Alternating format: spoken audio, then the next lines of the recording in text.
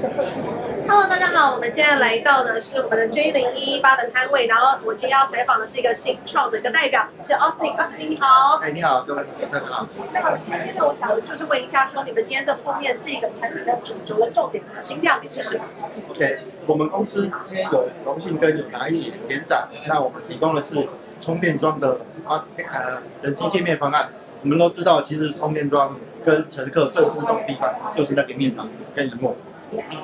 那我们提供的设备其实已经经过测试，所以当客户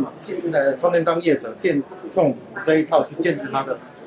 充电桩的时候，可以减少很多的人工工时，一站式的服务，达到有效率。的充电桩建设方案。不管是维修或是呢客户的需求，我们都可以一次搞定在这边，对不对？那你觉得在这个产品当中哦，有没有觉得说它可以在帮助到我们一些人员有没有什么一些关键的亮点？OK，像像这种充电桩整合方案，其实呃，total owner cost 去比单机的成本来的重要，所以很多呃业者在建设都忽略了这一点，那导致后面的维修整合的成本累积的增加。所以我们最大亮点就是说，我们提供了很多不一样的特性，在不同的作业系统下，比如说 Windows、Linux。我们都提供这样的测试，所以当客户使用我们的这一套方案的时候，它可以有效率就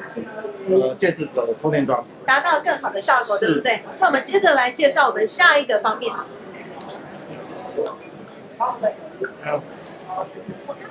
超级时尚的，因为它可以同时做承载广告，还有呢一些呃资讯都可以在上面，就同时可以做一些广告的概念，对不对？没错，你说的没错，其实这就是广告 C 的概念。我们都知道。它是在户外，所以呢，我记得它有一个很重要的方法，它就是有个 IP 六五的等级，对吧？对，它除了我们常见的 IP 六防震防紫外，它还有防撞击。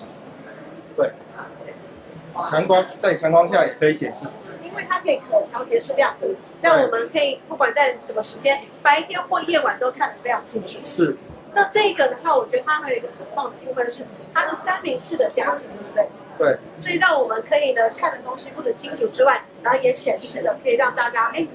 耳目一新，而且我们什么都有，就是介绍到，对，对不对？哇，太棒了！那你觉得这一个就是产品，大家有没有什么期许？呃，我觉得像这样的尺寸，其实在会越来越普及，而且尺寸会越来越大，因为广告其实都知道广告其实是一个日新月异，日新月异。日新月异之外呢，我们当然也希望在新创上可以多多一起努力。那今天在我们这个展区，